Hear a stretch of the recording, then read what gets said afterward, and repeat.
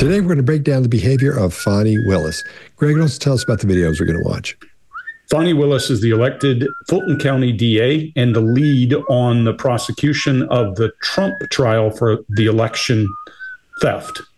She has been charged or accused of impropriety in in letting a contract with someone she's involved with, and this is that questioning. Once the mo- once the motion was filed, did you meet with Mr. Wade and talk to him about the motion that I filed to disqualify you? On January, this first January motion? Yes. I don't know if you could say talked about. Um, I probably had some choice words about some of the things that you said that were dishonest within this motion. So I don't know that it was a conversation. As you know, Mr. Wade is a Southern gentleman. Me, not so much. All right, Chase, what do you got? As we're going through these, keep in mind there's no politics here, just the behaviors and the things we see in these clips, not the politics, not the case, just the behavior. And holy smokes, is her dress on backwards? yes, her dress is being worn backwards. And that's only the beginning. The American flag is also sideways. And I saw that going right out of the ba- right out of the gate here this morning. And she's qualifying the question. And this is a very high likelihood of deception when you hear this someone qualifying and couching words and uh, about a question. Then there's some disgust on her face when everything kind of goes like this when we know that facial expressions are universal in human beings. And her blink rate increases to above 50. Just keep in mind, our blink rate is a stress measurement. Our average blink rate is about 17. Then we see bouncing up and down, this repetitive movement. And uh, to quote Joe Navarro, all repetitive movement is self soothing. Then there's a non answer at the very end of the clip here. I didn't have a substantive conversation.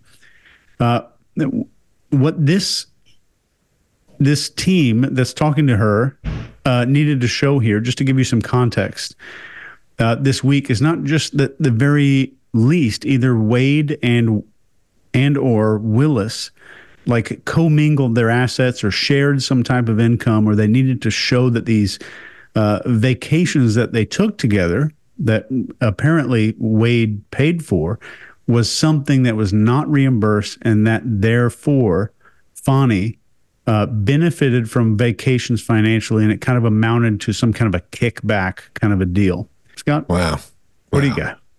Right. yeah, what have you got? So at, at, the at very first at the very first when when she starts talking, it's going to look a lot of people are going to think, oh, I'm seeing a lip pursing where she's doing that. She's actually getting ready to repeat that word one or once or whatever the word's going to be.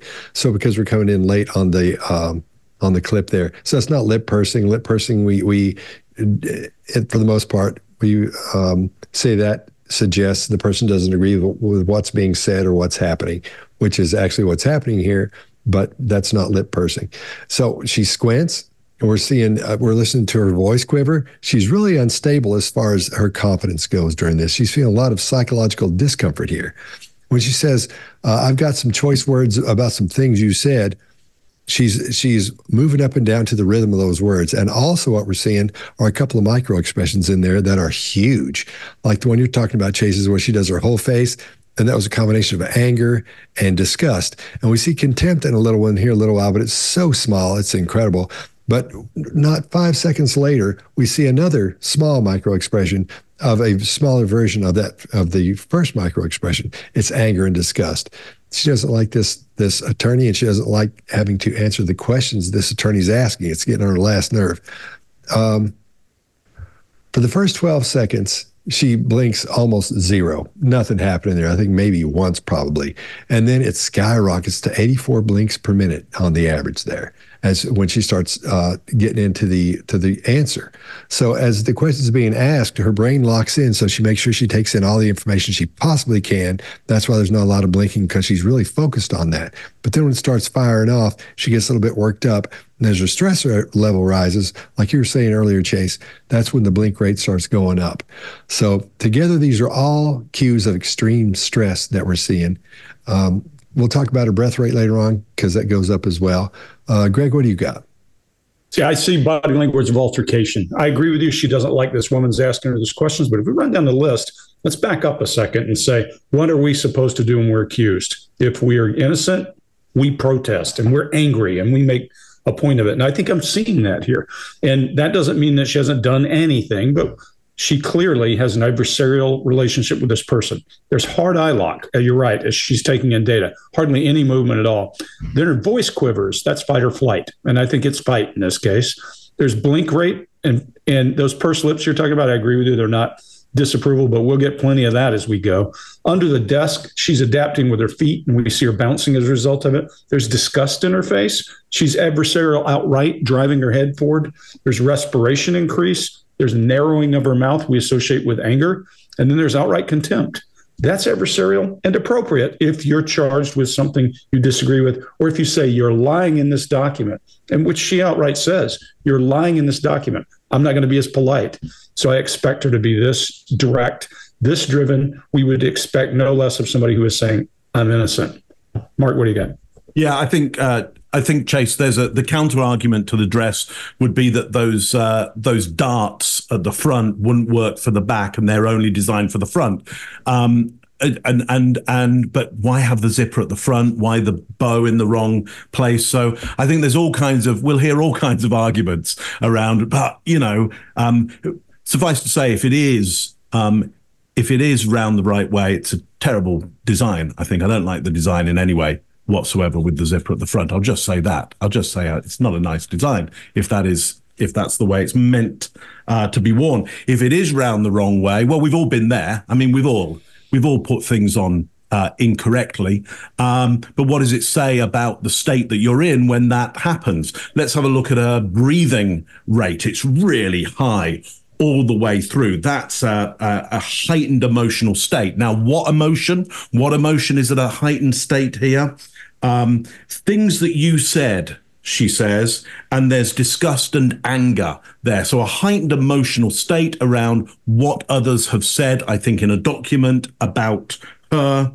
Uh, dishonest, she says, and and and so I think she is um, certainly emotionally charged uh, around the incredulity of what has been said uh, about her. To your point, Greg, somebody who is out, uh, you know, outwardly lying doesn't tend to get that charged up uh, about the facts of what they're saying have been lied about them.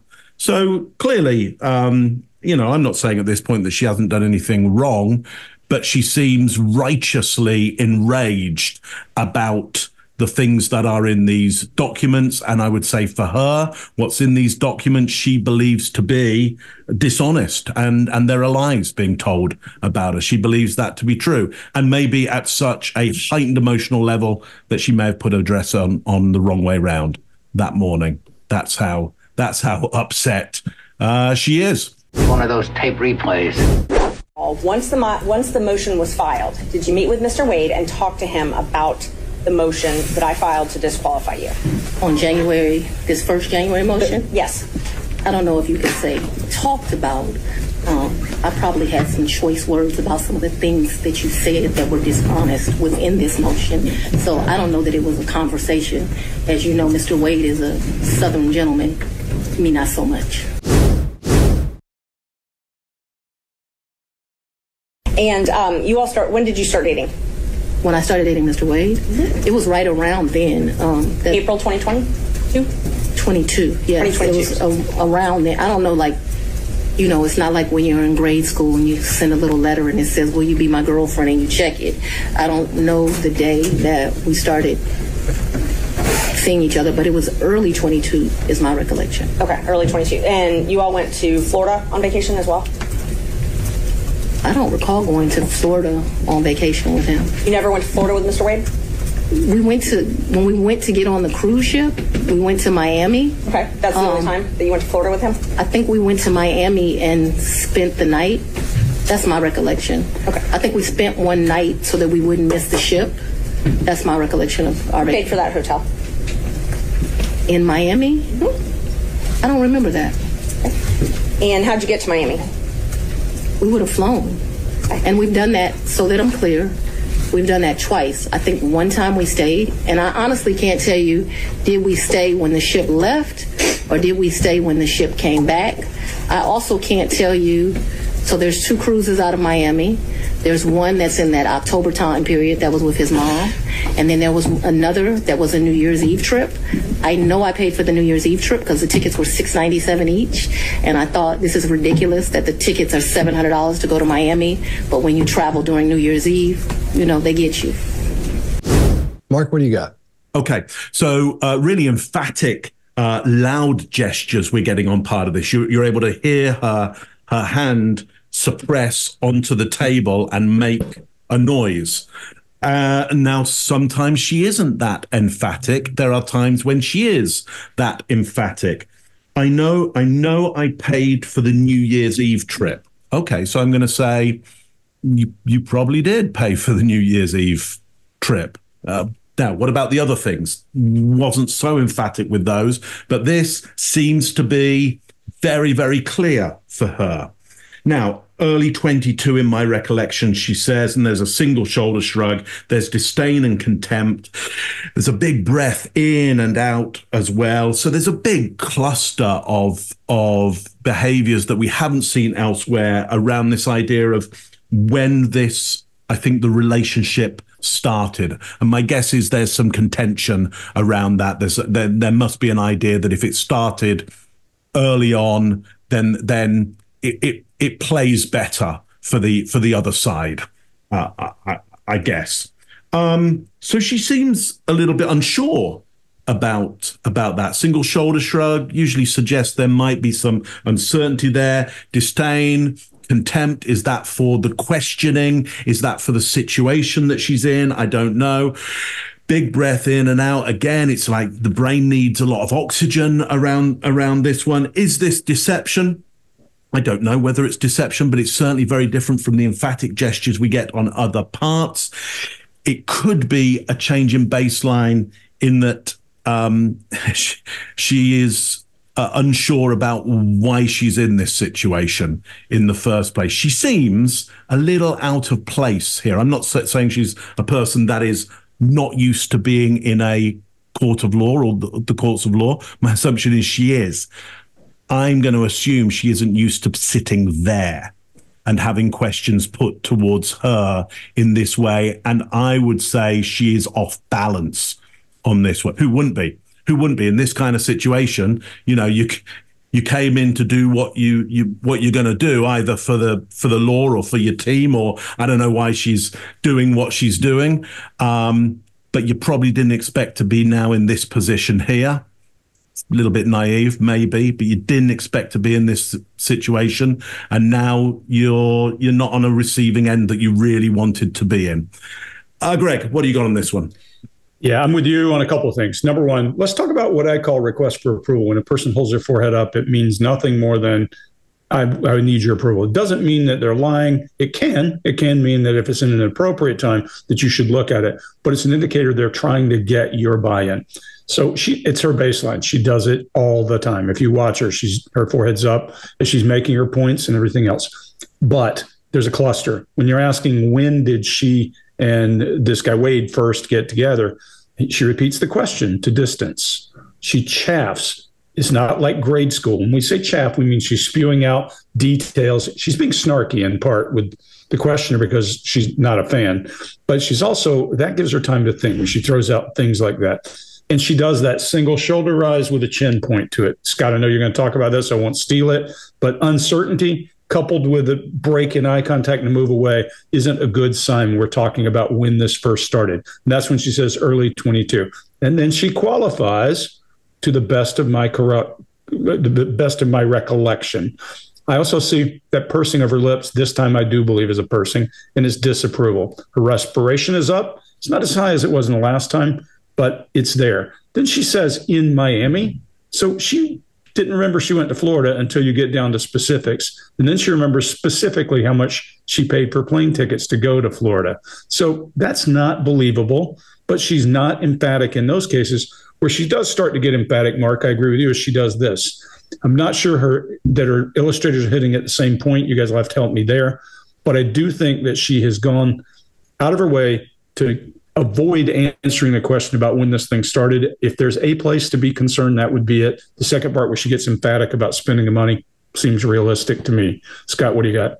Yeah, I agree with you. I, I think we're seeing the truth and deception just peppered throughout this. I mean, I, I, I don't think it's half and half or anything, but I mean, it's a little bit of both. So when she says, when I started dating Mr. Wade, when she says there's a question, she repeats that question. So she has time to think. Doesn't seem like it's a lot of time to think for us when you lay it out and go, oh, is that, that a third of a second or something? But it's enough time for your brain to to to start structuring things and thinking up an answer or a um, to take when you're when you're uh, giving an answer. If you've been asked something that you may have to be untruthful about, I got to be careful. So, and then when she says uh, it was right around then, she moves back in her chair a little bit. And usually, when someone who is back in their, in their chair, the way I see that is this: that means a, a, that could suggest a couple of things. It suggests they're not confident with their answer, or they may be being deceptive at this point. I always tell the story about when I deal with entrepreneurs. At the, when I was at the Entrepreneur Center, I could tell you every time the financial person didn't know what they were talking about and got their information from somebody else because when you'd ask them about the finances, they uh, when they would start, they'd back up a little bit. And when I would ask them later, how come you're not the one that knows? Why don't you know about this or that? Say, I just got here. I'm new. I'm whatever the, the story was. Where did you get it from? From so and so told me. Okay, so just from from years of doing that, I, I I really I feel good about saying when someone backs up a little bit, usually that means they're not confident and or they're being deceptive at that point. And then she she she squints to feign that deeper thought about what's going on. Uh, after that, um, she says it was early 20, uh, 22, and we see that single shoulder shrug, and that's when her chin goes to her shoulder. And I've told this story before as well. And I got it from Joe Navarro, where you hear where when someone's being dishonest, quite often when someone, like you were saying, Mark, when the, when the single shoulder goes up, we see that as, as a lack of confidence. But when you see that single shoulder go up and that chin go toward it, in my experience as well, it is almost to the T that person is being deceptive. So just from there are no studies with that or anything, and I have to tell you that. From my point of view, that looks deceptive to me. Um, we're seeing a lot of, of, of action in that brow, like you were talking about, Greg. A lot of the the eyebrows being up and a lot going on. It gets close to being a grief muscle, but it's not. It's not a grief muscle. It goes. It it arcs a little bit. Those little wrinkles arc a bit, but they don't come in as an upside down horseshoe, uh, like we're used to seeing when we talk about the, the quote unquote grief muscle there. Um, and if you can't remember when you went to Miami and if you stayed before you left or stayed when you got back, sounds like she's doing cruises all the time. Sounds like she's going everywhere.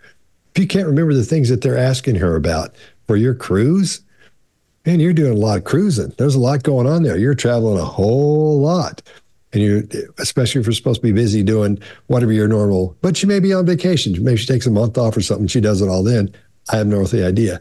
But she's cruising around a lot. She can't remember dates like that. Uh, then we see at the end, we see those disappearing lips or stress mouth.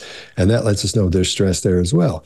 When, when someone's under a great degree of st- stress, we'll see the, the lips literally disappear. They'll almost suck them into their head eh, we call it compressed lips uh, most of the time. You just see that like that and they'll go away. So that lets us know there's a lot of stress there. Uh, Chase, what do you got? Yeah, I agree with y'all. And I just want you to process this, clarifying a question that any reasonable person would completely and fully understand. That's what we're seeing here. This is what's called a question repetition when you see it in instances like this, where someone clearly understands the question and the subject matter of a question, this is a gigantic red flag. And then she's saying, not like when you're in grade school and we hand out a note, or I'm paraphrasing. She smiles about this. I think she thinks it's clever and intelligent, but explaining yourself like this in court is a very bad idea for anybody and personally, uh, this is my opinion, I would think a district attorney would be very keenly uh, uh, aware of something like this. Then she says, early 22 is my recollection.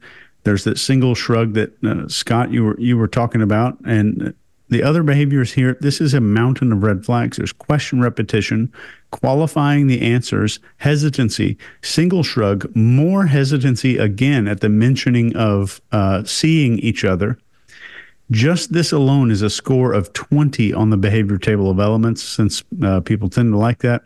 where a score of 11 or more indicates a high likelihood of deception, this was a 20. She keeps repeating Miami when the question is about Florida. And if I'm doing the question here, if I'm the one doing the questioning, two giant things automatically come to mind. Either one, she's unsure if Miami is in Florida or not. And within this conversation, she's also a- unable to understand which continent, which continent countries are in. In this interview, we're not going to analyze that piece, but she didn't know which continent stuff was in. So maybe that's the case. Or number two, she's locking down her speech to only mention Miami because something else in Florida is being concealed or hidden from me. So if I ask about Florida and I see a huge laser focus on Miami, I'm going to ask a question about anywhere else in Florida. Is there somewhere else in Florida? Maybe a question like that. So the second half of this clip is was so full of stuff uh, that it would, would take me an hour to go through it. So what I just covered just now was just the first 48 seconds of the clip. That's all I got. I think when she's talking about that, it's like a thing when you're a little kid. I think she's trying to get that familiarity thing with her to make the attorney like her better. I think she's trying to connect with her for that brief second or something. I can't figure out why she would go down that road either. I think I don't. I, I think it's the opposite. I think she's trying to win over viewers. Maybe so. Maybe that's it. I just that was so odd to hear. I somebody think like there's a hell say of a that. lot of sarcasm in that statement. I think she was being sarcastic and snarky. Picking up on your sarcasm. Y'all remember that line from Tommy Boy? So, Greg, point of order. Why is this happening in Fulton County? So because it's where the where he apparently called and talked to the Fulton County guy. He talked to Raffensperger, I think is Right, name, so it's the under Secretary of their- State. The, Yeah, the- it's, it's the- their purview. Potential crime has been under their is under their jurisdiction. Yeah, yeah. And Fulton County is Atlanta. When people think of Atlanta, they think of the six and a half million, five million, whatever the magic number is today, people that live in the metro. But Atlanta proper is probably four to 600,000, depending on what you read, uh, people living in Fulton County slash Atlanta. That makes sense. So it is So what- accidental that that she happens to be in charge of this. I, you know, I, I haven't done enough study on this whole thing to be able to answer that for you, Mark. But I know it. There were. This is where they pointed to anomalies and where he called and said, "Can't you find?" I believe where he called and said, "Can't you find X number of votes in this county?" I, I haven't spent enough time on the actual details of the trial, so I'm not going to go too Right. deep. But realizing that that is a is the core of the of the city of Atlanta. When we talk about the city of Atlanta, it is the city, and then everything else is just neighborhoods, subdivisions. So it's not like and the potential probably crime happened somewhere else and they decided, oh, well, let's prosecute it No, in no. this state or this county. It it is no. It, it- it's, it's about the right that, geographical yeah. location. All right. Yeah, yeah, for sure. Yeah, and you know, Georgia is a very Georgia's a lot like New York in that there's this massive city and then lots of smaller little towns and then a lot of rural area. So 60% of the population probably lives in the Atlanta metro. One of those tape replays. And um, you all start. When did you start dating? When I started dating Mr. Wade, it was right around then. Um, April 2022. 22. Yes, 2022. it was a, around then. I don't know, like, you know, it's not like when you're in grade school and you send a little letter and it says, "Will you be my girlfriend?" and you check it. I don't know the day that we started seeing each other, but it was early 22 is my recollection. Okay, early 22. And you all went to Florida on vacation as well. I don't recall going to Florida on vacation with him. You never went to Florida with Mr. Wade. We went to when we went to get on the cruise ship. We went to Miami. Okay, that's the only Um, time that you went to Florida with him. I think we went to Miami and spent the night. That's my recollection. Okay. I think we spent one night so that we wouldn't miss the ship. That's my recollection of our Paid for that hotel. in Miami. Hmm. I don't remember that. And how'd you get to Miami? We would have flown, and we've done that. So that I'm clear, we've done that twice. I think one time we stayed, and I honestly can't tell you, did we stay when the ship left, or did we stay when the ship came back? I also can't tell you. So there's two cruises out of Miami. There's one that's in that October time period that was with his mom, and then there was another that was a New Year's Eve trip. I know I paid for the New Year's Eve trip because the tickets were six ninety seven each, and I thought this is ridiculous that the tickets are seven hundred dollars to go to Miami, but when you travel during New Year's Eve, you know they get you. Of the seven continents. Um, and so he has both a personal travel agent and he also has a cruise travel agent I don't know anything about either of those kind of travel agents. So he is the one that would book the travel, but we need to be clear when we're talking about just because he booked it doesn't mean, like, I don't consider him having taken me anyplace. Let me just be honest. The only point that's ever taken somebody someplace is for his 50th birthday. I consider that I took him to Belize. And I took him to Belize because, um, you know, I don't want to discuss his personal business, but I'm happy Mr. Wade is still here with us. And I did 50 big, very big. Um, so, still on that October Royal Caribbean cruise. Um, uh, Mark, what do you got? Yeah, so again, um, really strong uh, gestures on I took him to Belize. So uh, she wants to be really clear about about where her power uh, has been, and, and uh, I imagine because she's feeling power being taken away from her in one aspect, and she needs to take hold of it in another. And so, yeah, loud and suppressive gestures on that, uh, very strong. Fifty big, again, loud and supp- suppressive. She wants us to know that she she made a big deal out of this uh, fifty party. But around that and before that, it's a little less. It's a little more uh, equivocation. It's a little more ambiguous. Uh, two travel agents. I don't know about those. So there's stuff that she really, really knows, and she wants to, to know that she knows that, and other stuff which is now very ambiguous and she doesn't really know about. Um, and then she says, I don't want to discuss his personal business around this 50 and big. Well, you just you just leaked it to us. I mean, you just you just told us exactly what's it. So just so just so you know this, if if I ever come up to anybody and go, listen, this is a secret, so don't tell anybody this. I'm I'm trying to get the message out to every major news agency there is there. That's that's if I've told you this is a secret and I, I'm I'm gonna tell you, yeah, if it's a secret, you won't hear about it ever, ever, ever. If I want you to know about it, and I want everybody to know about it, I will take you into a corner and very quietly go, listen, I can't, I'm not meant to tell you this, but so don't tell anybody. But here's the information. And then I'm expecting it to be on the news the next day.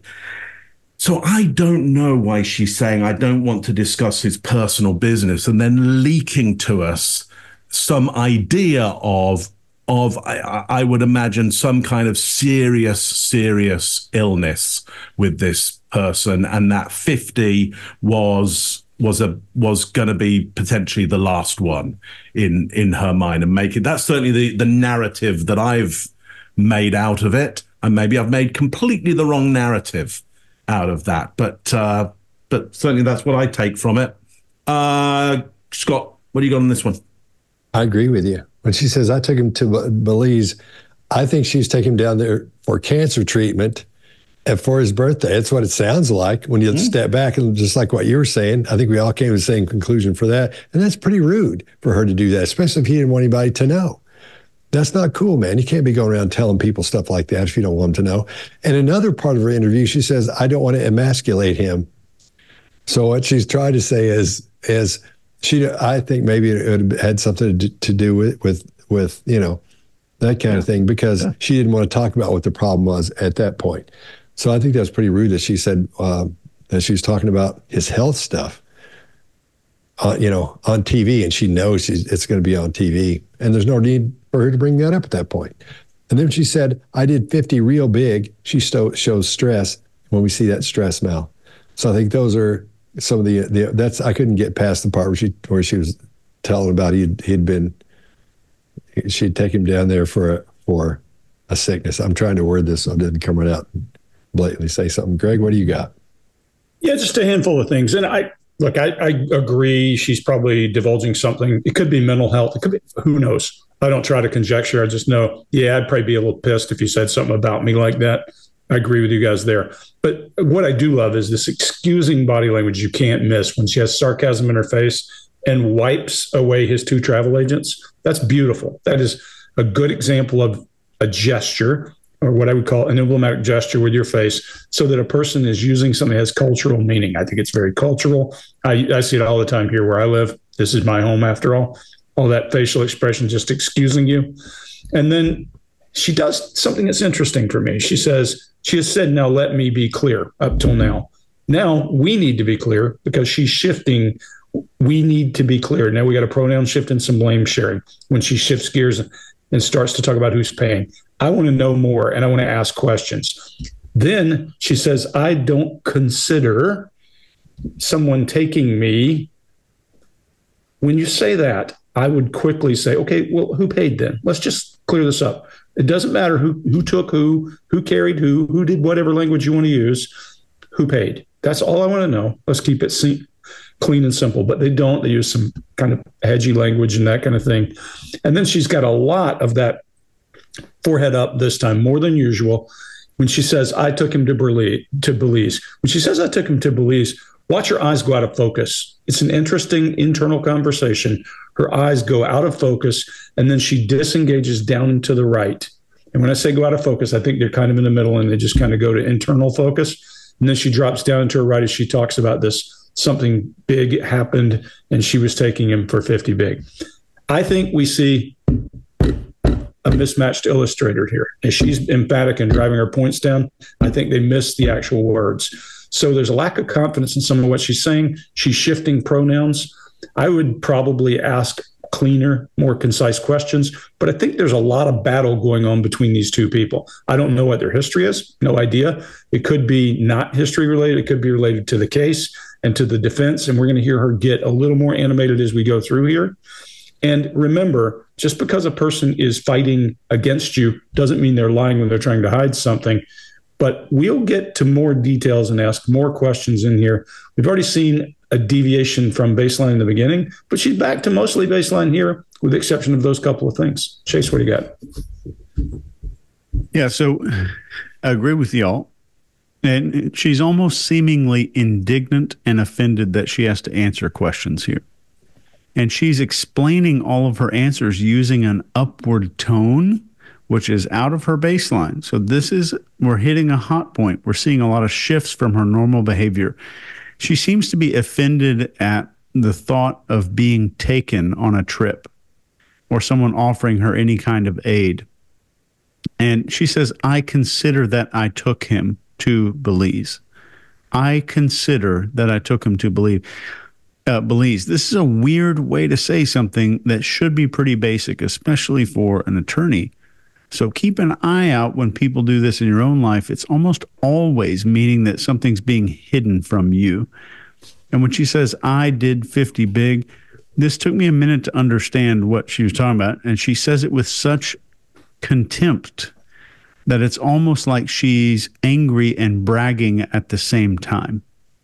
And she seems to become very fragile uh, if her level of power or significance is being called into question here. And uh, again, these are all of our opinions. But she has all the behavioral trademarks of what I call a status collector. Uh, and this is someone who uses trappings like clothing, bank statements, belongings, cars, social standings to display status and they're typically more concerned with the display of status than actual status. So this is an initial read here, and it's just an opinion of someone that's like this. But we'll see if uh, maybe I get proven wrong or right here in the in the coming videos, which I'm open to. One of those tape replays of the seven continents. Um, and so he has both a personal travel agent and he also has a cruise travel agent I don't know anything about either of those kind of travel agents.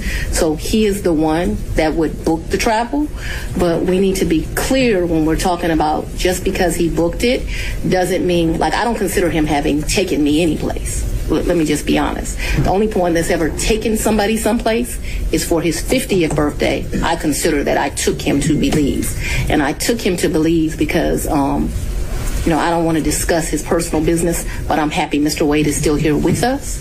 And I did 50 big, very big.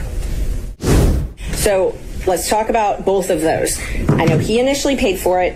Did you pay him back? For the cruise and for Aruba, yeah, I gave him his money before we ever went on that trip. You gave him cash before you ever went on the trip? Mm-hmm. Okay. And so when you got cash to pay him back on these trips, would you go to the ATM? No, lady. You would not go to the ATM? No. Okay. So um, Fulton County pays you direct deposit, I assume? Yes, Fulton Okay. County and the uh, state of Georgia both pay me direct deposits. Okay. So the cash that you would pay him, you wouldn't get it out of the bank. I have money in my house. You have money in your house. So it was just money that was there. When you meet my father, he's going to tell you as a woman, you should always have, which I don't have, so let's don't tell him that. You should have at least six months in cash at your house at all times. Now, I don't know why this old black man feels like that, but he does. When we were growing up, my daddy had three safes in the house. So my father's bought me a lockbox, and I always keep cash in the house.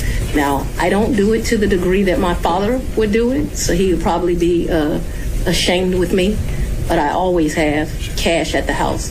That has been, I don't know, all my life. If you're a woman and you go on a date with a man, you better have $200 in your pocket. So if that man acts up, you can go where you want to go. So I keep cash in my house, and I don't keep cash as good in my purse like I used to, um, 'cause I don't go on many dates. But when you go on a date, you should have cash in your pocket.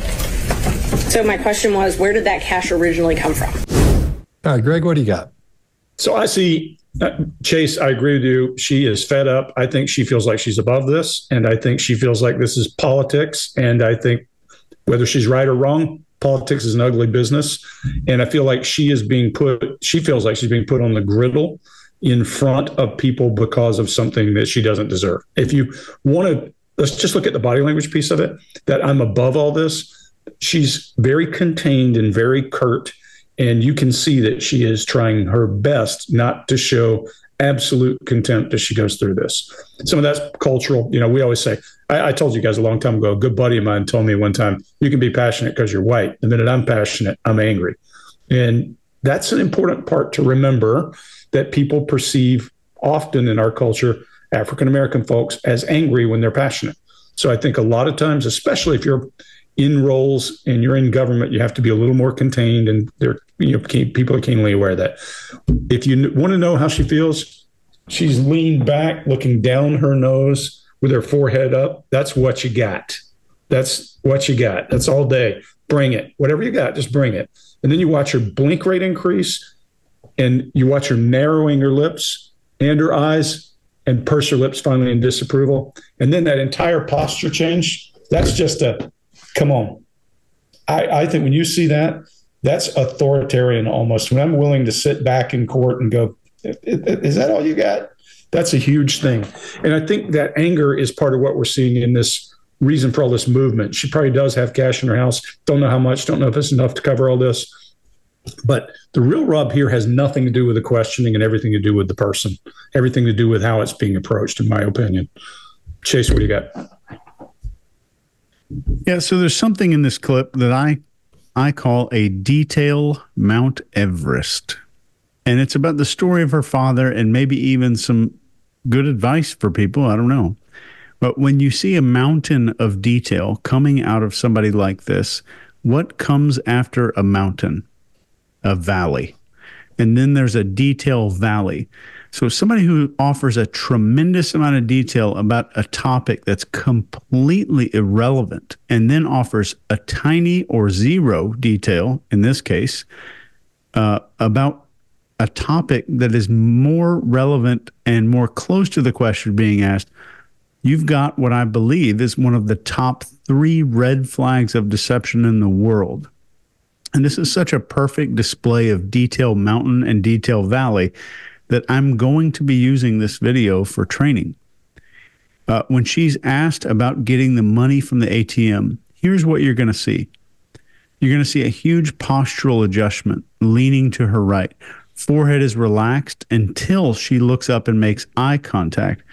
And this behavior, uh, this eyebrow flash behavior, is so programmed into us that I've got a two month old baby here at, at my house, my baby, and she does this. She does this to get approval. Then we see lip licking, which is we associate with stress. It's a hygienic gesture.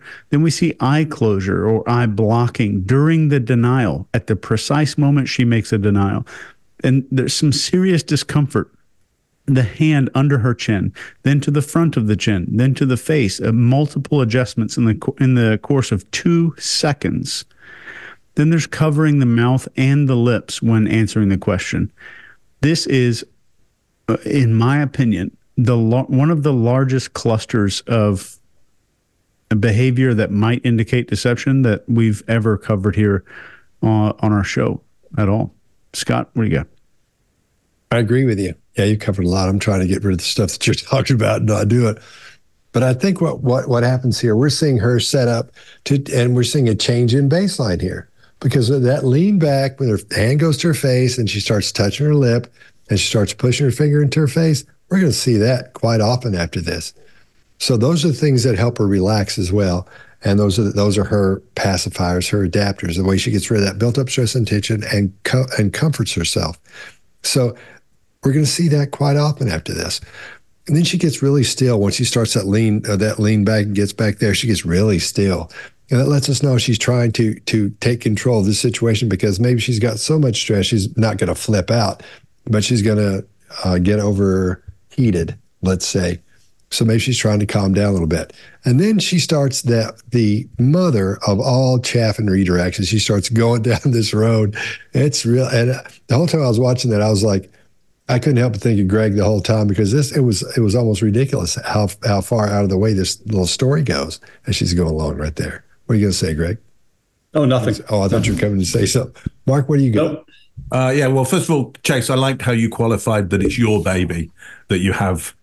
Me too. I was thinking that. It's yeah. It's a, and I want to. I just want to substantiate. It is Chase's baby. He has borrowed it, stolen it. Uh, yeah. um, Go get it, Chase. Show it to really. I have a random two-year-old in, in any way. It's actually, you know, it's actually his his baby. Just in case right. anybody worries. That's why a baby is around at Chase's house right now. Uh, look, couldn't agree with you more. There is a large uh, cluster of changes on this as I see her really getting boxed in by this question around the cash. Like, where did you, you know, where's your proof of where this cash comes because the insinuation is here, especially in a modern age, but most importantly in a modern age. Uh, and being somebody myself, I don't carry cash at all. I can't remember the last time I had any note or coin in my hands. And so it's very easy in a modern age to go, anybody with cash is nefarious in some way. It's got to be illegal. If anybody has cash in their hands, it's got to be illegal. And that's the, that's the insinuation uh, here, and I think she sees herself getting uh, boxed in. Now, maybe she had that cash for for bad reasons. I I don't know, but big cluster change here. And what she comes up with, in my mind, is a cultural, family, and gender tradition and necessity around having the cash. So she goes back to her dad and she goes, "Look, it was my it's it's a it's a uh, cultural and family tradition to have to have cash. And also as a woman you're to need $200 so that you can you know get yourself anywhere in a in a in a tricky situation especially if you're if you're dating. I mean, you know, given given that there is, she gives a a reasonable narrative around around that. Given the insinuation, I think is anybody handling large amounts of cash uh, must be you know, can't be uh, telling the I, the what do you have there? IRS, isn't it? Can't be telling the IRS uh, where that came from. And the insinuation probably is some some underhand payments going. I mean, it's easy for the mind to wander into these ideas once they've been put forward. Um, so so look, nice. I I think you know there could be a couple of things going on here either the cash is nefarious in some way and and that's why there's the cluster around this or she knows that there is the insinuation there and it's it's not a good optic uh, her going i can't re- i mean i just got cash under the bed and having to explain that doesn't do her any favors now same time, Greg, to your point, look, you don't get into what is absolutely a political battle, not knowing there will be a lot of blood all over the carpet and floorboards. And to my understanding, having asked about this, this landed on her desk. She potentially hasn't. I mean, I guess she chose to pick it up or not pick it up. But I guess if it lands on your desk, you've got to prosecute it, or you say, we're not prosecuting this. Um, anybody prosecuting this has got to know the other side or, or a side is coming at you and they will not spare you because in politics, there's only one thing you're meant to be doing, which is to win and win at absolutely any cost. And both sides will try and win. Having been there, we try and win at absolutely any cost and we don't care who goes under. Um, and, and nobody's falling on their swords on this one, which means somebody is going to have to get get one in the back now with her, we maybe won't know which is the back and the front because because the dress is not is not in. Nicely done. I got there. Well, I got there in well the end. There was going to be something. I knew there was some there was some tie in there. Uh, I'm Mark Bowden. Thank you very much. I wish I had my hat on. I would take it off for you for that. that was good. One of those tape replays. So let's talk about both of those. I know he initially paid for it. Did you pay him back? For the cruise and for Aruba. Yeah, I gave him his money before we ever went on that trip. You gave him cash before you ever went on the trip? Mm-hmm. Okay. And so when you got cash to pay him back on these trips, would you go to the ATM? No, lady. You would not go to the ATM? No. Okay. So um, Fulton County pays you direct deposit, I assume? Yes, Fulton. County and the uh, state of Georgia both pay me direct deposits. Okay. So the cash that you would pay him, you wouldn't get it out of the bank? I have money in my house. You have money in your house. So it was just money that was there? When you meet my father, he's going to tell you as a woman, you should always have, which I don't have, so let's don't tell him that. You should have at least six months in cash at your house at all times. Now, I don't know why this old black man feels like that, but he does. When we were growing up, my daddy had three safes in the house. So my father's bought me a lockbox, and I always keep cash in the house. Now, I don't do it to the degree that my father would do it, so he would probably be uh, ashamed with me but I always have cash at the house. That has been, I don't know, all my life. If you're a woman and you go on a date with a man, you better have $200 in your pocket. So if that man acts up, you can go where you want to go. So I keep cash in my house, and I don't keep cash as good in my purse like I used to. Um, I don't go on many dates, but when you go on a date, you should have cash in your pocket. So your office objected to us getting um, Delta records for flights that you may have taken with Mr. Wade. And, well, no, no, no. Look, uh, I object to you getting records. You've been intrusive into people's personal lives. You're confused. You think I'm on trial. These people are on trial for trying to steal an election in 2020. I'm not on trial, no matter how hard you try to put me on trial. So my question was, do you have any problem? I object to getting any personal records of mine. We're not dealing with privilege through a witness. And I'm not. No, no, no. I'm not dealing with privilege. What um, we had offered to put them in camera for the court to review, and I just want to know if she. Has- All right, Chase. What do you got? This uh, I'm I'm no attorney, and I don't know this person very well. I'm just looking at the behavior, but I've worked in trial consulting for a long time. I've picked a lot of juries and, and worked a lot of cases. Uh, this looks to be just bizarre behavior. I'll, it's the nicest way I can say it. When I was eight years old, my grandmother would watch Matlock all the time, and you would see Andy Griffith rile these people up on the stand and make fools of themselves. And I learned at the age of eight that this behavior is inappropriate for the courtroom if you want to look innocent or if you want to look like you're doing the right thing. I was eight years old when I learned this. The person in this video clip is a district attorney. So let's look into this behavior as a profiler. So stay with me on this uh, quick thought experiment. Number one, we can reasonably assume that she knows this is a bad idea and that she's at least competent enough to know that this would maybe make someone look bad on the stand. Two, we can also probably assume that she knows how to behave in court as a district attorney. If those two things are true, then what might we be able to understand about her level of self restraint and self control? If those two things are true. So, one of the things being called into question in this exchange is her level of restraint and control with finances and maybe accepting gifts. I think is one of the things on the or kickbacks or whatever.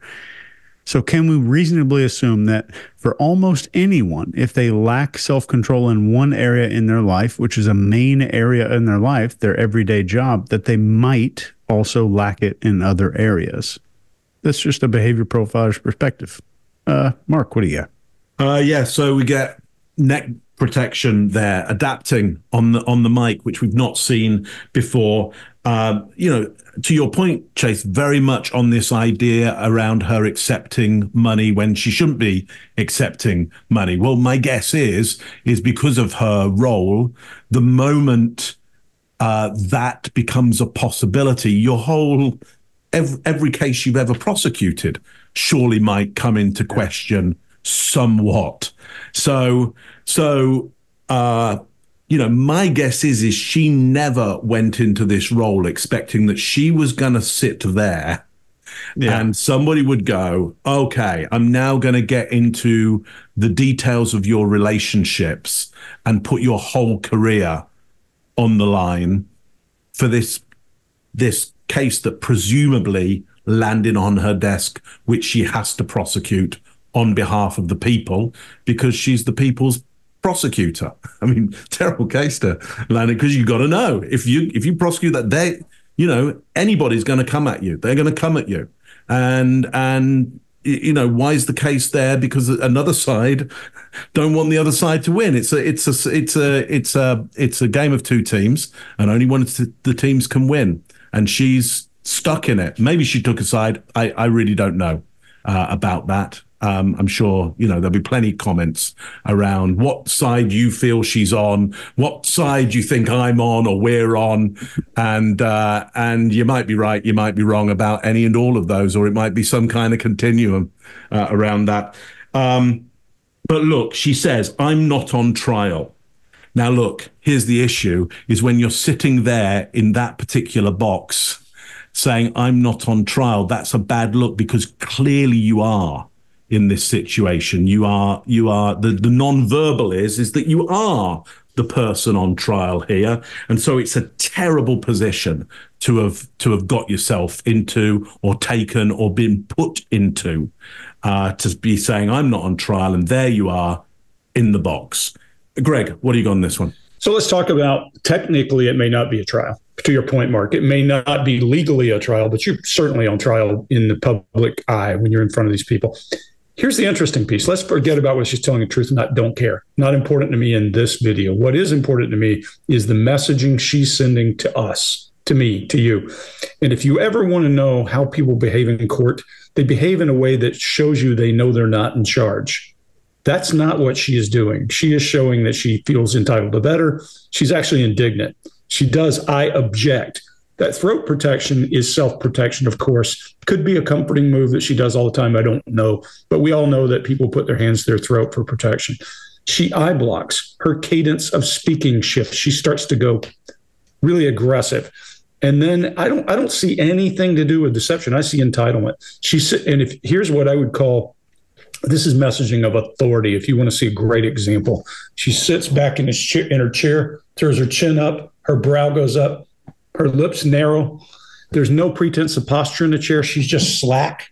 That who when you're sitting in front of authority of any kind and you go to slack like that's blowing somebody off very clearly to me then we see that that c- contained anger you can see anger now and she's got that emphatic downtone and cadence shift and you can just see it any person records of my own. She's after them. She's angry with them, and she's just got absolute contempt. And then she adapts in the chair. Her blink rate increases, and she touches her face. That has nothing to do with whether she's being deceptive or not. But I will say, Chase, you said it. Mark, you said it. Scott, I'm sure you'll have something to do with it. When you're sitting in front of a group of people, and whether you're officially on trial or something else, and you are not concerned about their opinion, it could be cultural. It could be trying to send a message to your team or the other team. And Mark, I don't know whether she signed up, joined up, and said, "Hey, let me prosecute this," or whether it was handed to her. Doesn't really matter. She is not concerned with anybody's opinion of what she's doing here, at least from what I can see. My opinion. Scott, what do you got? All right, I think her limbic system gets lit up here, and when when that happens, you you know, it's fear, fight, or you know, freeze, fight, or flight. I think she tro- chose fight during this because we see a micro expression of anger. Her voice volume definitely goes up. She gets louder. We see her nostrils flare. See another um, micro expression of anger. And then she adjusts the mic and then she covers her throat. And then she starts this this other chaff and redirect. I thought the other one was the mother of all chaff and redirects, but this one is huge. This is just about as big as that one. So she's been, in other words, she's been cornered. We, we, we all act the same way. And she goes back again to that thing where she leans back in the seat and she starts covering her throat. So that's become part of her baseline now. I think that's her that's her safe area. And I agree with you, Greg. I think I, I think in, in, a group like that, especially when, when you've got an attorney there and a judge there as well, everybody's looking at you. The world, well, maybe not the world, but the U.S. is looking at you, and you lean back there and do that. I'll tell you what, that that either takes a whole lot of confidence or a whole lot of, um, well, I don't think it's confidence, but yeah, you got to be careful there. But I, I, I think she's she's in a panic mode at this point. So that's why we're seeing all those things happen with her. Not to go back over a lot of things you guys talked about already. I, I think it is confidence. I think she's confident that she's got a right to say exactly what she's saying. But it's the type of confidence I'm talking. Oh yeah. I, One of those tape replays. So your office objected to us getting um, Delta records for flights that you may have taken with Mr. Wade. And, well, no, no, no. Look, uh, I object to you getting records. You've been intrusive into people's personal lives. You're confused. You think I'm on trial. These people are on trial for trying to steal an election in 2020. I'm not on trial, no matter how hard you try to put me on trial. So my question was do you have any problem? I object to getting any personal records of mine. We're not dealing with privilege through a witness. And I'm not. No, no, no. I'm not dealing with privilege. What um, we had offered to put them in camera for the court to review, and I just want to know if she. Has- that uh, let's. Could we just have an answer to the question? Um, I can handle this, Sadow. Let's she, have it. She asked about a personal relationship. She asked when the romantic relationship ended. That's the question. It sometime in, um, I'd say late summer of 2023. So I don't believe men. Um, this is what you're really asking about. This is the salaciousness of all of this, right? No, I'm just uh, asking about your romantic relationship when you stopped dating. I asking. I I think that me and Mr. Wade. So he's a man. He probably would say June or July. I would say we had a tough conversation in August. so that men in relationships at the into physical intimacy, women in relationships when that tough conversation takes place. And where, um, when did he come to, I guess, the condo? I'm not sure what you called it, condo apartment. Um, would he come and stay at that condo or visit you there? I'm sorry, visit you there. What condo, what apartment? I want to be clear. So, not your house. I know you classified one as house and one as condo, so I'm trying to use those terms. So, um, there's been more. That, see, what you don't understand is because of this case, I got to move. And so I, Ms. I Merchant, if you could ask a more precise question. Yes, please give me the time period. Mr. Wade visited you at the place you laid your head. When? Has he ever visited you at the place you laid your head? So let's be clear, because you've lied in this, this. Let me tell you which one you lied in. Right here. I think you lied right here. No, no, no, no. This is the truth, Judge. And this it, it, it is a lie. It is gonna, a lie. Ms. Will, you Mr. Sena, thank you. We're going to take five minutes. Be back in five.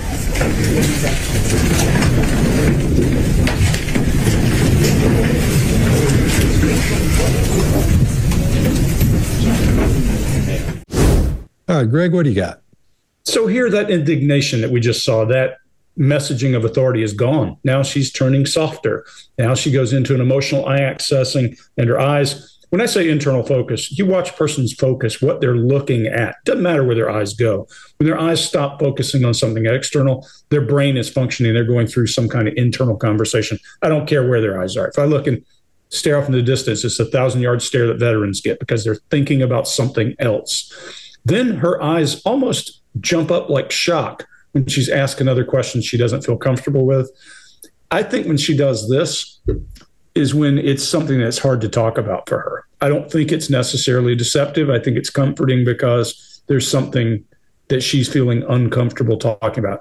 But she's navigating this conversation with emotional accessing, whether it's downright or you can see that she's working on which words to say.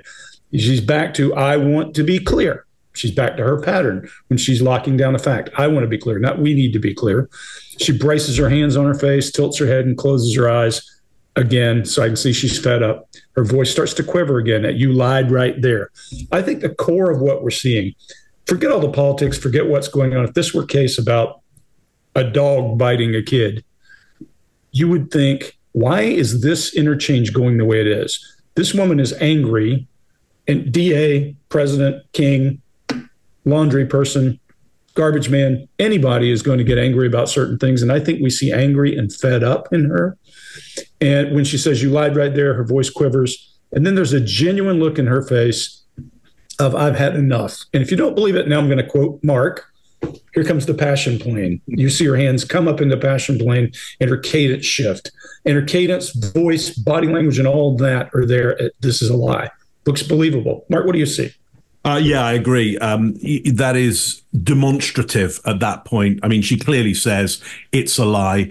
Uh, the bureaucracy, the judge, has no appetite for that being said in the court, and and and and dissolves it, not dissolves it there and then, but certainly says let's let's take a break um, on on on that. So it's all getting wildly out of hand. I think at this point.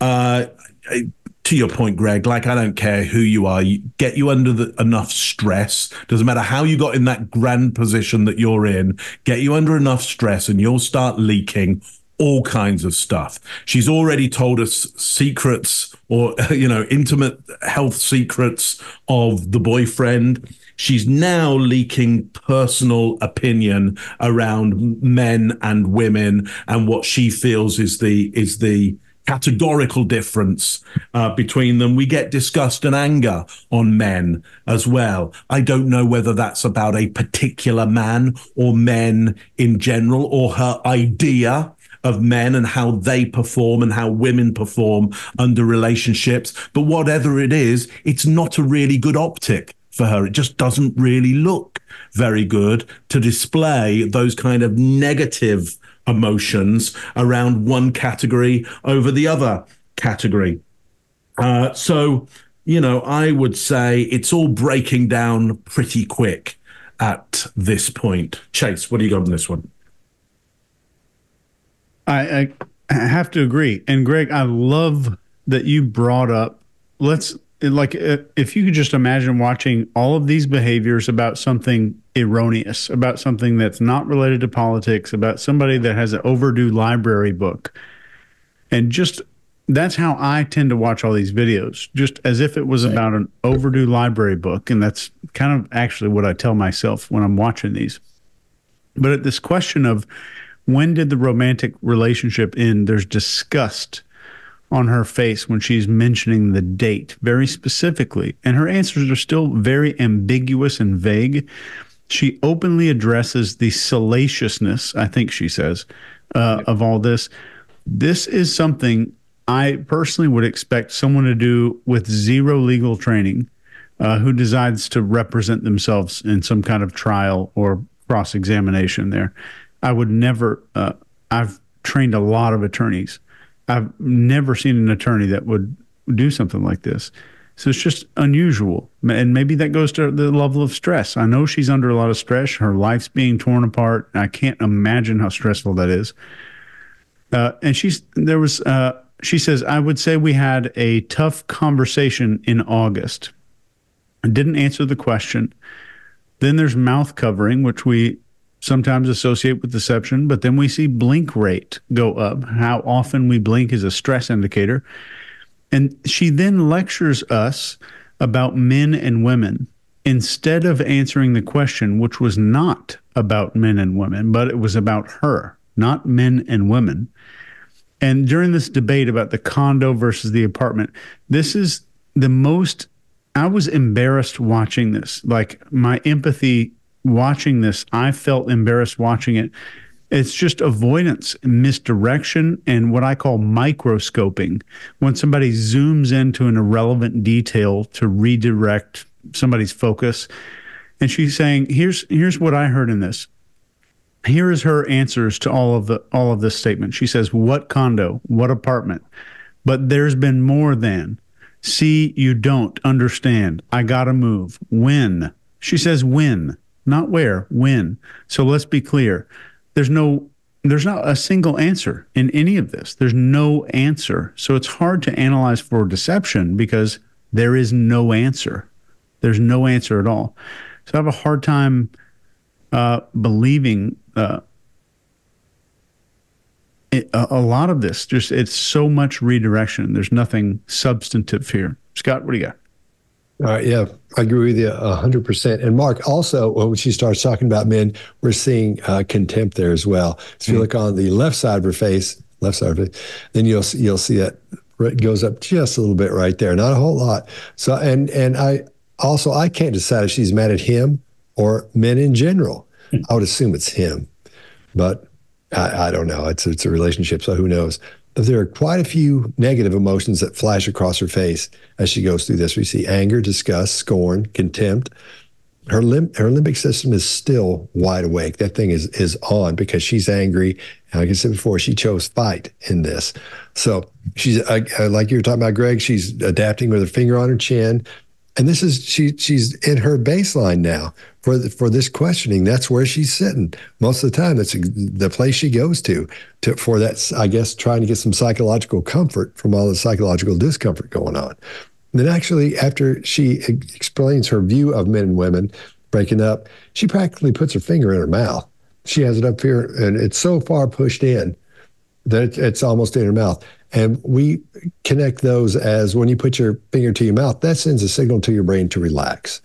So I, that's another signal for me to know this is a really high stress situation for her. Obviously, it would be she's angry and she knows everybody's looking at her and she's still trying to fight her way out of this. And like you were saying, Chase, there's no answer there, man. She's she's just talking about all kinds of different things at the, at this point. Then she chaffs, she uh, attempts another chaff and redirect as she gets worked up. And it didn't work. This one didn't work either. She just keeps getting so mad. The judge finally says, "Hang on, everybody. Let let let's take. We need a five minute break with this." It, and it's just, and I agree with you, Chase. I I felt empathetic for for her as well because man, when she looks back on this and goes, "Holy smokes, I did all this wearing a yeah. backwards dress." That uh, let's. Could we just have an answer to the question? Um, I can handle this, Sadow. Let's she, have it. She asked about a personal relationship. She asked when the romantic relationship ended. That's the question. It sometime in, um, I'd say late summer of 2023. So I don't believe men. Um, so this is what you're really asking about. This is the salaciousness of all of this, right? No, I'm just uh, asking about your romantic relationship when you stopped dating. I asking. I I think that me and Mr. Wade so he's a man. He probably would say June or July. I would say we had a tough conversation in August. So that men in relationships at the end of physical intimacy, women in relationships when that tough conversation takes place. And where, um, when did he come to, I guess the condo, I'm not sure what you called it, condo apartment, um, would he come and stay at that condo or visit you there? I'm sorry, visit you there? What condo, what apartment. I want to be clear. So, not your house. I know you classified one as house and one as condo, so I'm trying to use those terms. So, um, there's been more. That, see, what you don't understand is because of this case, I got to move. And so I, Ms. I Merchant, if you could ask a more precise question. Yes, please give me the time period. Mr. Wade visited you at the place you laid your head. When? Has he ever visited you at the place you laid your head? So let's be clear, because you've lied in this, this. Let me tell you which one you lied in. Right here. I think you lied right here. No, no, no, no. This is the truth, Judge. And it, it, it is a lie. It is a lie. Ms. Will, Mr. Sadow, thank you. We're going to take five minutes. Be back in five.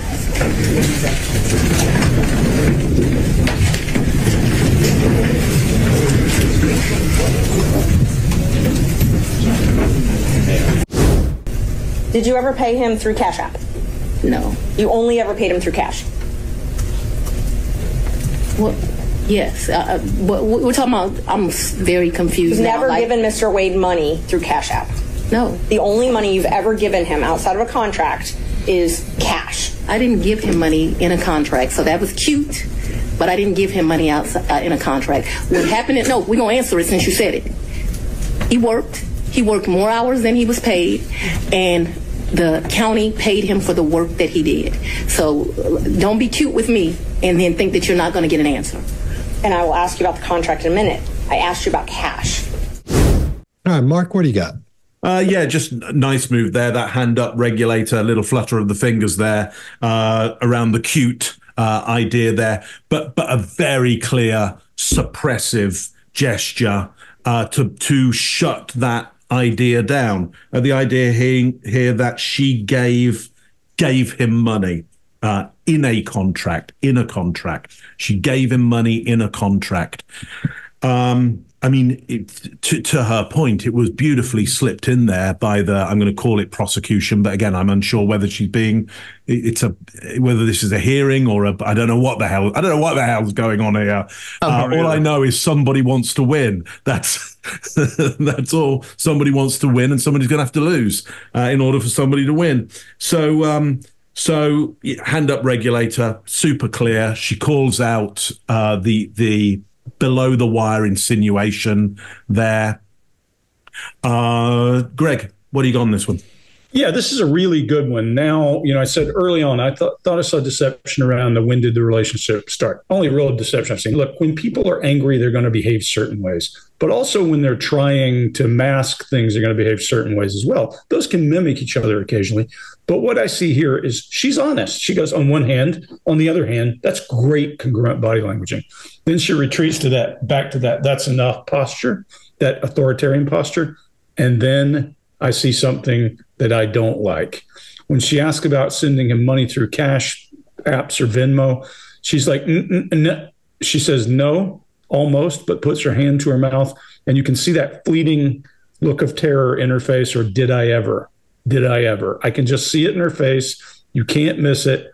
And there's that startled expression with her eyes open really wide.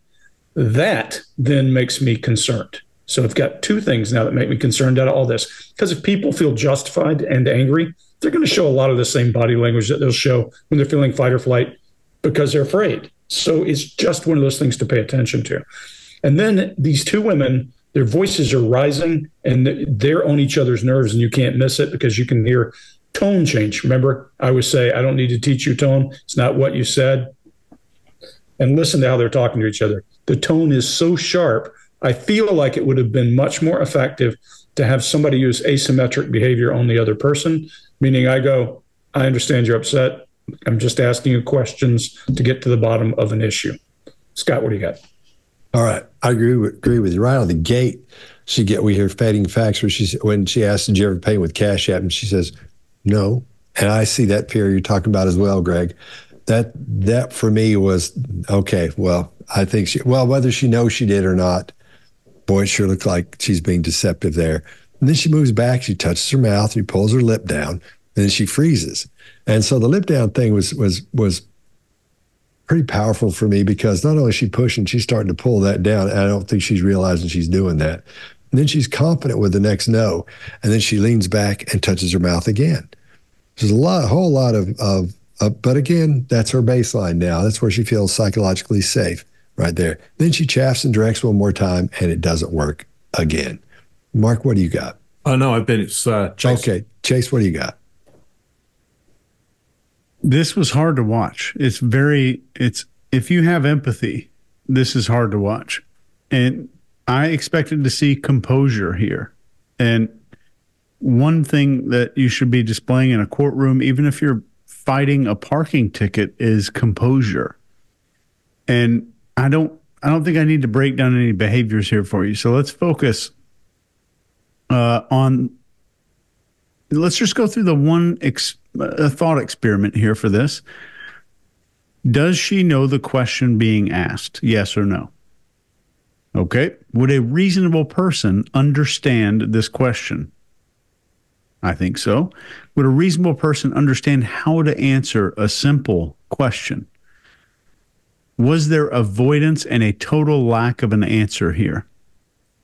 That in itself should be extremely interesting to you if you were able to just answer those simple questions uh, from a reasonable person standard. Uh, it should be a pretty interesting response to this if she understood it and absolutely avoided it. One of those tape replays. Dollars. I don't operate like that with my girlfriends. I don't operate like that with anyone. He caught the bill. I caught the bill. Whomever. Did you ever pay him through Cash App? No. You only ever paid him through cash? Well, yes. Uh, uh, we're talking about. I'm very confused. You've now. never Like, given Mr. Wade money through Cash App. No, The only money you've ever given him outside of a contract is cash. I didn't give him money in a contract, so that was cute. But I didn't give him money outside uh, in a contract. What happened? Is, no, we're gonna answer it since you said it. He worked. He worked more hours than he was paid, and the county paid him for the work that he did. So don't be cute with me and then think that you're not going to get an answer. And I will ask you about the contract in a minute. I asked you about cash. Right. What happened? No, we're gonna answer it since you said it. He worked. He worked more hours than he was paid, and the county paid him for the work that he did. So don't be cute with me and then think that you're not going to get an answer. And I will ask you about the contract in a minute. I asked you about cash.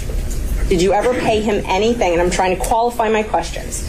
I'm not talking about the contract with Fulton County that, that was paid. I'm not talking about that. I'm talking about outside of that. Did you ever pay him anything other than cash? I've only given him cash a few times in, in the course of what we're talking about. So if we would go to credit card? Let, dinner, him, let her finish her answers. if we would go to dinner, I wouldn't give him cash because he paid for dinner or I paid for dinner.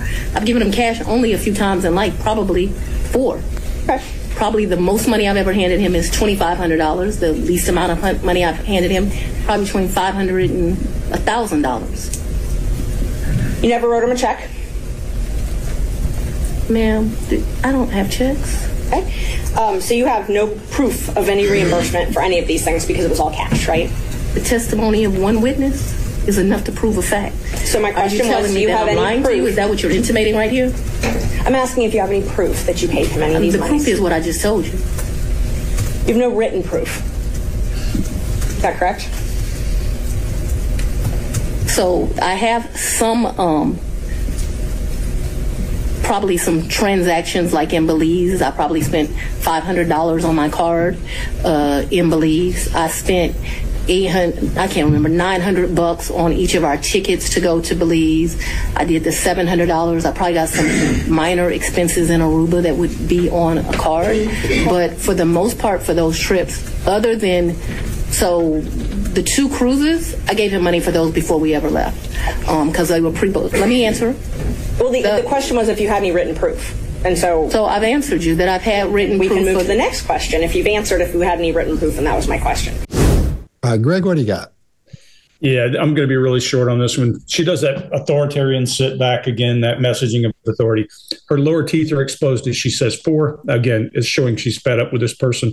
There's rec- recognition in her face, meaning in, well, the only person we can see in the DA's face when she thinks she's got the questioner when she asks her about checks. You see that smile, that smirk, and go at her. But look at her hand.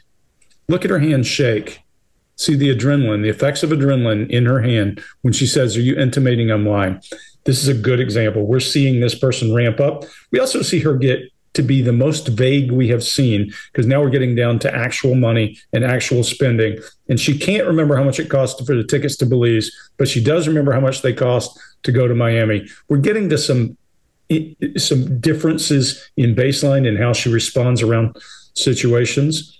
And this is where I would lean in more and start asking questions. When you're asking questions about how, do you have written proof?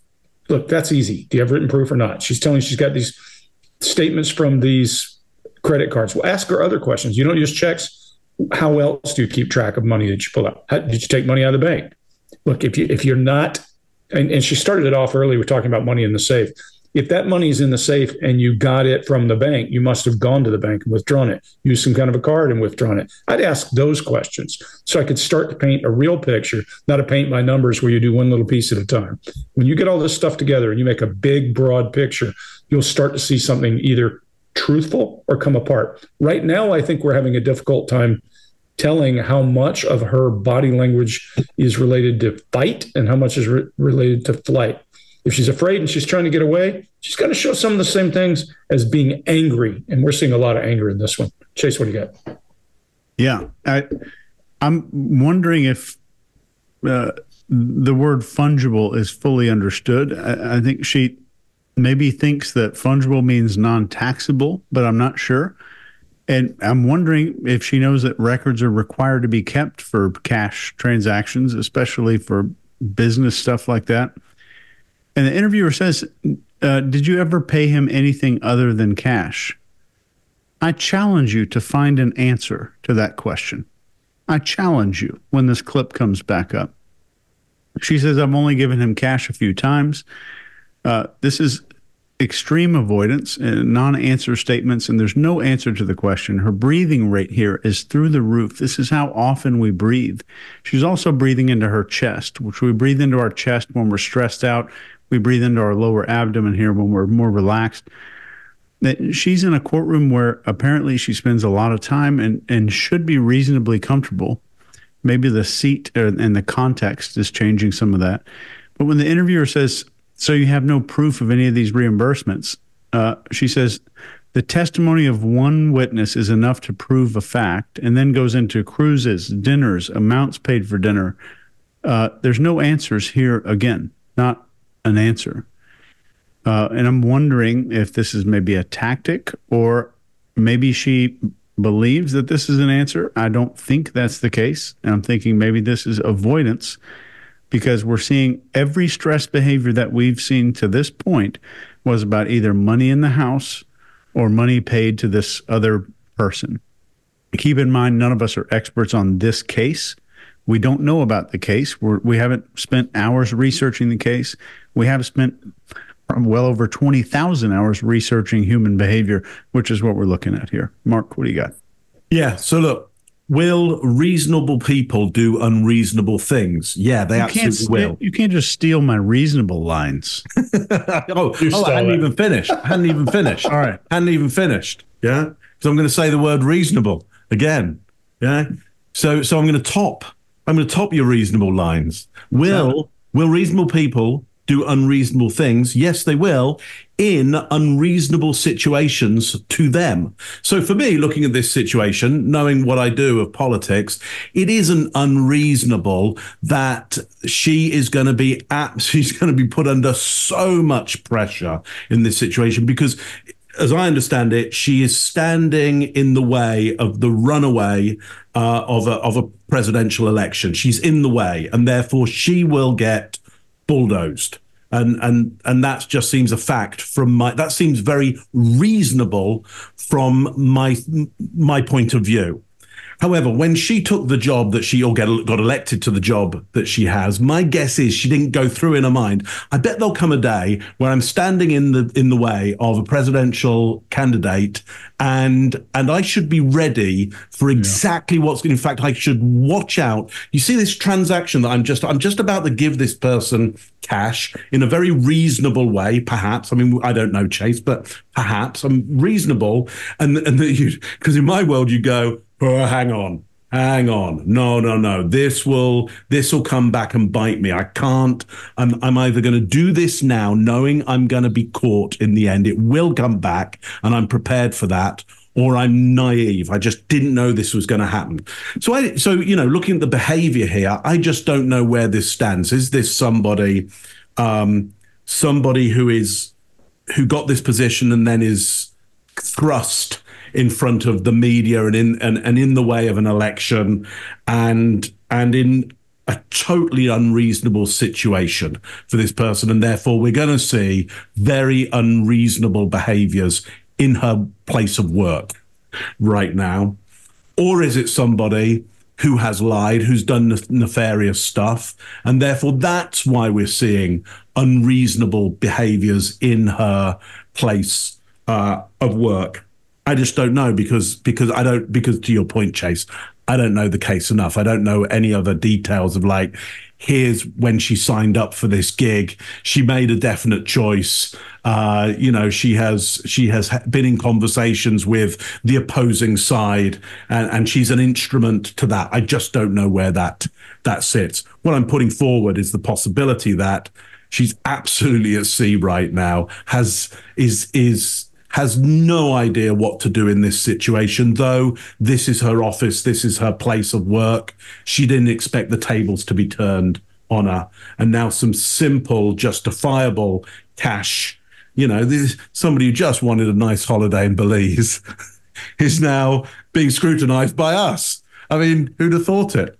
I, I, I assume she didn't work that out from moment one and go, I'll need a receipt for that, by the way. This is legitimate. Yeah, that's all I got on that one. Well, I, I'll t- say what I always say. The worst few days of my life was going to SERE school, knowing how it works. Right.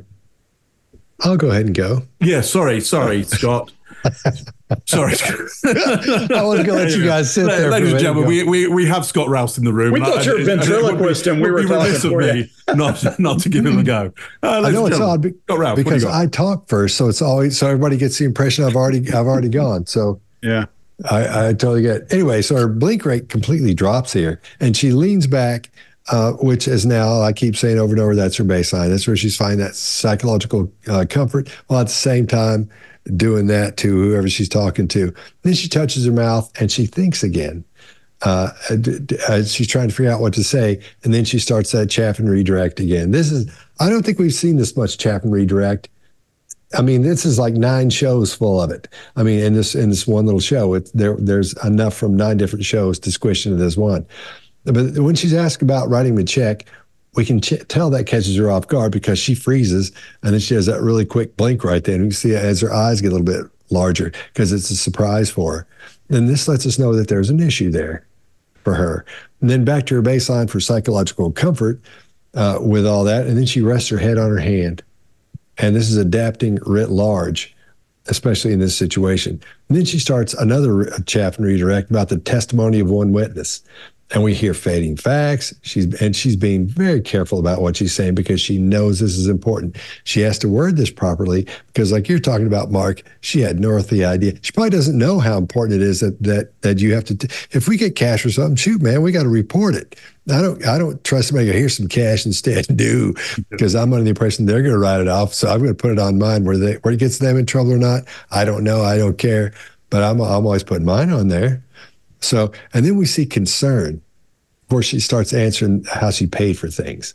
So she's really concerned about this. I think I think she's it's gotten away from her her her body language. We all try to pay attention to our own body language as we're doing whatever we're doing, especially in a situation where we're talking to a group of people. And going back to the empathetic thing, Chase, I agree with you. This I mean, I felt so bad for her during this because Yeah. I, th- I think she's I think she's like riding a horse and doesn't know how to ride a horse. You know, I think it's out of control and she can't get a handle on it. She can't get to slow down or anything. I think it's running away with her. So, and then we can see relief as she quietens down when the attorney decides to, to you know, okay, let's move on to the next question. So I think that's where she she gets a little relief there because there's a lot behind that that is riding on that uh, the answer she just gave or tried to. Was no answer there. I mean, that she's trying to give. So yeah, I think there's a lot in there, a lot in this. Yeah, just because you're a prosecutor doesn't mean you know how to behave when you're being called on the stand. You know what I mean? Yeah. There's that. One of those tape replays. Right. What happened? No, we're gonna answer it since you said it. He worked. He worked more hours than he was paid, and the county paid him for the work that he did. So don't be cute with me and then think that you're not going to get an answer. And I will ask you about the contract in a minute. I asked you about cash. Did you ever pay him anything? And I'm trying to qualify my questions. I'm not talking about the contract with Fulton County that, that was paid. I'm not talking about that. I'm talking about outside of that. Did you ever pay him anything other than cash? I've only given him cash a few times in, in the course of what we're talking about. So you've if never we would go to credit card? Let, dinner, him, let her finish her answers. if we would go to dinner, I wouldn't give him cash because he paid for dinner or I paid for dinner. I've given him cash only a few times in life, probably four. Okay.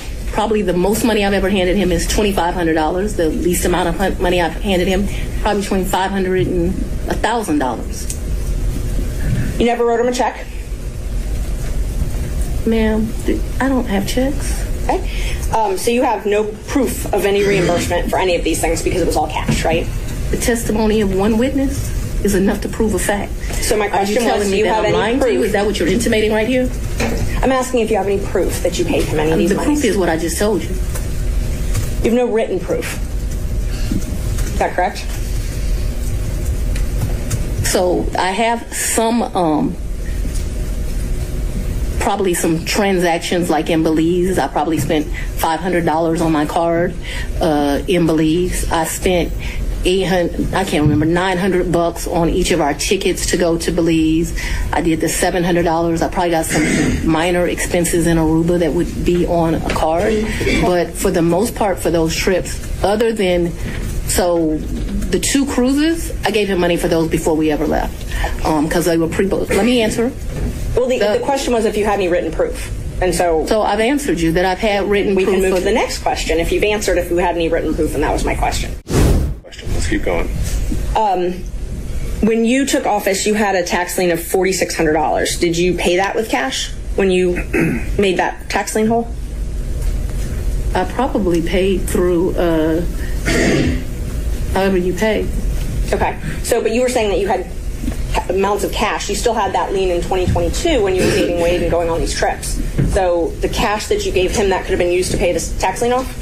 You gonna tell me how to pay my I'm gonna bills? object. This is not relevant as it relates to why we're here today. Mr. Merchant, um, if you are you trying to establish that she was insolvent in some way? Um, I definitely was trying to establish that, that she did not have these mass amounts of cash that she's talking about. Yes. All right. Ask the, re-ask the question. Okay. Uh, Chase, what do you got? So let's talk about breathing rate really quick. What I want you to do when this clip comes back on your screen, I want you to watch her chest rising and falling as she's breathing. And I want you to try to match her breathing rate and see how you feel. Match her breathing rate, breathe with her, and, and see how you feel. If you match her breathing rate, make sure you're clear on the subject being discussed, and then see how you feel about something that should be honest and very simple. It should be honest and very simple. And then you'll see and feel all that you need to. So, breathing rate is a super reliable sign of stress because it's all about how our body's automatic, autonomic nervous system kicks into gear with fight or flight. So, when we're stressed, our body pumps up the breathing rate to get ready for action. And it kind of taps into those deep rooted survival instincts. So even though today's stressors are more about deadlines than saber toothed tigers, our bodies still kind of react in the same way. So this behavior here is uh, unusual. Like if you told me that uh, to watch this video and then told me that this was a district attorney, I wouldn't believe it uh, to that point. Uh, so it's just strange. There's a lot of stress. Um, and maybe she's outside of her comfort zone, but I don't know what's causing this this much stress. Uh, could be deception. Greg, Yeah, this is a really good one because we see something entirely different. Remember, I said there's messaging of authority pushed back, putting your hand to your mouth as you think, chin up, chin's not up, brow. See that grief muscle? That grief muscle we associate with sorrow, grief, or something very negative, and it's pronounced in her forehead now. Her face is not lighted up. She's not angry. Suddenly, the demeanor is different. I don't know because I didn't pull these videos. I don't know how far into this it is. But what I can tell you is by watching her here, there's a massive baseline change, and she loses the ability to answer a question in that angry, pushy, aggressive back direction she did when she's asked, How did you pay? And you can see her face has got that kind of rigid, stony look that she says, However, it's paid. She's not she's not lost verbal fluency. She's lost the ability to respond intelligently. That's the dumbest answer I heard in this entire thing. So it makes me feel really uncomfortable that when we're talking about these masses of cash she had, now I'm sure whether it's just because she's been called on the carpet for having a tax lien or whether it's that now there's not a rational answer for you having a whole bunch of cash. Now we've got a different answer than anything we've seen in the rest of these videos. Mark, what do you got? Yeah, I mean, she's she's she's in a pretty hard place there because I mean, a good answer to that would be, you know, tax systems are complex. There's many complex ways that you can end up paying your tax at the end of the end of the year, depending on the complexity there. But but now you've got yourself in a, in the optic of looking like you have, you know, complex tax situations, which again is going to cause people to go, well, what are you doing nefarious? You know, anything to do with cash and taxation easily pick, uh, creates a, an, an image, a picture there of you must be doing something underhand, which is possible. And at the same time, it's it's not possible. You know, it, it, we don't know. We well, you know, I certainly don't know anyway. Uh, but I, what I do know is there is a great postural bump there as she thrusts out her chest to say, "You're going to tell me how to pay my bills," uh, which is a nice line, and and we can we we get a sense of that person in more control around that. We get a sense there, I think, Chase, of that district attorney. You know, there's a moment of it. Mm-hmm. You know, that was the that was the um the confident, you know, person that we're looking for with that that quick one liner and then and then leaves the situation but she can't leave she's still there being questioned terrible place for her to, to be with the authority that she should have, essentially being questioned in a good enough way that she's delivering enough uncertainty that, you know, certainly in public opinion could cause, you know, her her case to look bad. Uh, and certainly, I don't know what other elements they're going to put together with this because it, it feels like here, like she's the only thing that this hangs on. It kind of feels like, you know, she's the only thing. But my guess would be is there's other elements as well. This is the first thing you can bring. And if this doesn't quite work, then maybe there's some others along the line. And it's very easy to, in that position, to go, this is all about me. Um, rather than going, oh, I'm just a small part of a bigger picture here. And, and maybe I shouldn't be feeling the pressure that I'm that I'm feeling. Uh, anyway, to, to to everybody's point, it's difficult not to feel some empathy for this person stuck in a in a, in a you know the great key is where she's sitting right now. Never sit there. Whatever you can do not to be in that seat, not be in that seat. I've said that time and time again. Whatever you can do not to be there, don't be there because it, it there's nothing beneficial about it in many, many cases. Scott, what do you got on this one? Uh, y'all have covered everything I was going to talk about, so we'll move on. One of those tape replays. Question. Let's keep going. Um, when you took office, you had a tax lien of forty six hundred dollars. Did you pay that with cash when you made that tax lien whole? I probably paid through uh, however you pay. Okay. So, but you were saying that you had amounts of cash. You still had that lien in 2022 when you were dating Wade and going on these trips. So the cash that you gave him that could have been used to pay this tax lien off. You gonna tell me how to pay my bills? I'm object. This is not relevant as it relates to why we're here today. Mr. Merchant, um, if you are you trying to establish that she was insolvent in some way? Um, I definitely was trying to establish that, that she did not have these mass amounts of cash that she's talking about. Yes. All right. Ask the, re-ask the question. Just one more thing. We've analyzed all the key elements of this situation, and now we're going to tell you exactly what we think in our wrap up. Mark, what do you got? Yeah, I think there's potentially two people here uh, whatever the weather, we're certainly seeing some behaviors that don't look good in this situation. Now, why is this? Either because, in my view, we have a reasonable public servant here who has found themselves in an utterly unreasonable situation, which is having their life torn apart in front of the cameras. And this was never anything that she signed up for. And so the stress and pressure of that is going to produce a whole bunch of off the chart behaviors. Could be that.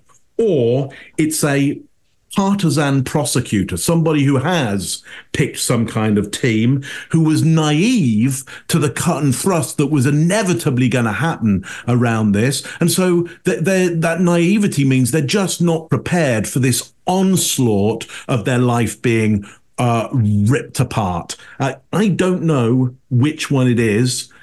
but it's but it's probably one or the other or something in between. Chase Hughes, what do you got? Yeah, I agree, and it, I think it's fascinating to see that no matter how polished or professional someone is supposed to be, like a district attorney, uh, our all of our primal instincts and nonverbal cues can still start peeking through. And I think it's a reminder that we're all human and we're all battling the same kind of internal alarms that go off when we're backed into a corner. It's the same. And I think it hits home this point that being genuine and transparent is so key in a world that is literally, I, I think, just starving for authenticity. But it's not just about like calling out deception. I think it's about recognizing our own vulnerabilities and working towards like being a little more empathetic and seeing maybe there's some deception here, but I'm able to see that there's a person who's a human being at the same time. And that's where you become uh, better at being a profiler and using these skills. Greg?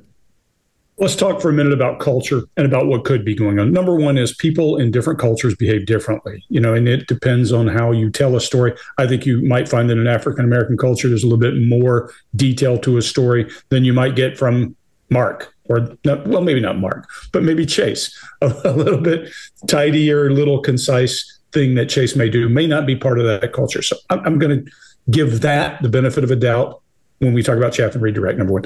Number two, there's a hell of a lot of anger, and there's a lot of anger about the situation. And the organism does what made the organism successful. If she's always been treated a certain way because of the situation she's in, and she expects that treatment and is not getting it, that's going to generate anger. And anger is fight or flight. In the same way, flight is fight or flight. We're going to try to get away or we're going to go back at them. We always say when a person's indignant, it's a good sign. So just because a person believes something doesn't make it true. And just because you believe it's not true doesn't make it not true. So all the time when we're looking at people, we're looking at signs and behaviors. We can only go that far. The three things for me that make me want to know more in this case were in the second video when she was very hedged and doing a lot of things that we associate with deceptiveness around the beginning of the relationship. The second one was around proof in writing of paying back. Those were good indicators that something is hot in both of those places. And then finally, when it got down to how did you pay with cash when you couldn't pay your lien on your property, we saw an entirely different an entirely different demeanor. So those three areas make me want to really focus and go back and ask hard questions, very concise questions. And my approach would be to say, Miss District Attorney, happy to listen as long as you want to talk. I wouldn't interrupt. I'd let her talk, let her tell you however she goes about giving you information because people bleed information when they're talking. That's the only way we're going to get to the bottom of this, not by each of them cutting each other off. It, it probably needs a little more digging. We'll see how it turns out. Scott, what do you got? For all the things we've seen and a lot of the videos that we've done, I think this is probably my favorite for a collection of someone where we can spot what makes them comfortable and we can spot the things that are going to make them not fly off the handle, but but get their their anger up, get their engage their limbic system, because almost every question did that in this situation. So I think it's a great study, and all of the adapters and all the uh, someone trying to take control of a situation and make themselves comfortable because they're at such a high stress level. Uh, I think it's a great study to see how that's done and see how at least one person does that. At, and at the same time, I think it's a great study into, into uh, for attorneys to talk to their clients and say, don't ever do this, don't ever do this, don't ever do that. And there's just a list of things to go down of how not to act, how not to respond, what not to say, and and not to go down these little these little roads that have nothing to do with the answer to the question. So I think I think it's a it's a great study in that if if you pay attention from the first video to the last video, you'll see great examples of all those things. So I, I, really, as much as I hated seeing this and I feel so bad for her, at the same time, I liked it because we can learn a lot from this situation, as horrible as it is. All right, fellas, think this is another good one, and we'll see you next time. So what do you got?